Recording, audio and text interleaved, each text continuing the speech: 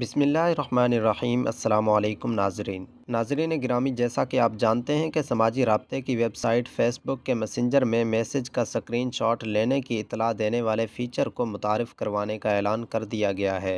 Facebook की मरकज़ी company मीटा की जानब से जारी बयान के मुताबिक मोबाइल मैसेंजर ऐप में एक नई तब्दीली की जा रही है, जिसके बाद कोई भी मैसेज का स्क्रीन शॉट लेगा तो मैसेज भेजने वाले को ख़ुदकार मैसेज मौसू होगा। जिसमें स्क्रीन शॉट बनाने वाले की तफसील मौजूद होगी। मीटा कंपनी का कहना है कि यह इकदाम सार्फिन को पैगाम को पहले से ज़्यादा महफूज बनाने के लिए किया जा रहा है। मैसेंजर के इस नए फ़ीचर के बारे में आप क्या राय रखते हैं, कमेंट बॉक्स में हमें लाजमी बताएँ। अगर आप हमारे चैनल पर नए हैं तो हमारे चैनल को सब्सक्राइब करें, ताकि इस तरह की वीडियोस आप तक सबसे पहले पहुँचती रहें।